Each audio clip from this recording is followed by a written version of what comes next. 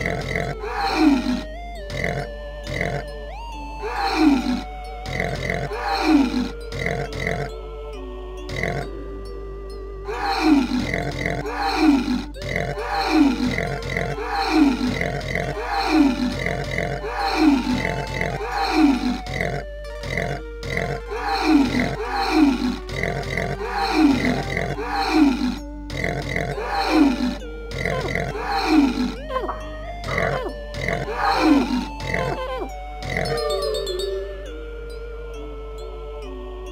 Ok Rồi.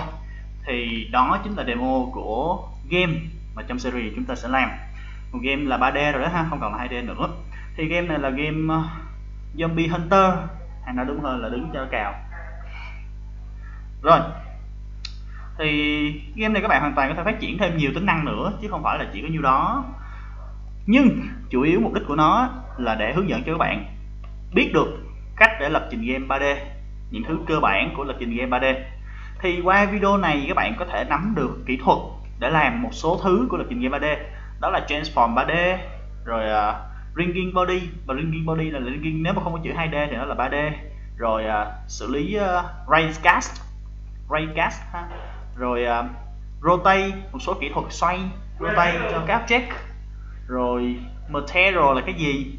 Animation xử lý anim animation cấp cao hơn một chút để cho nhìn nó mượt mà hơn. Rồi sao nữa ta? À, practical. Cái gì đó gọi là practical xử lý hiệu ánh hiệu ứng khói lửa. Rồi xử lý ánh sáng biết cái gì gọi là ánh sáng? Camera UI các bạn biết làm thanh máu cho người chơi sử dụng slider. À, rồi rất là nhiều thứ thú vị như vậy. Còn những thứ khác nữa các bạn hãy cùng tham gia cùng theo dõi series này để các bạn cùng học hỏi thêm nhé.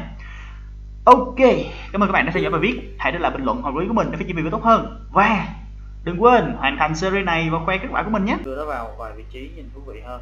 Ở đây đi ha. Trước tiên mình sẽ tạo một cái khác nữa, đó là mình tạo một cái empty để thể hiện cái thằng này là player của mình. Mình đưa cái thằng này vào trong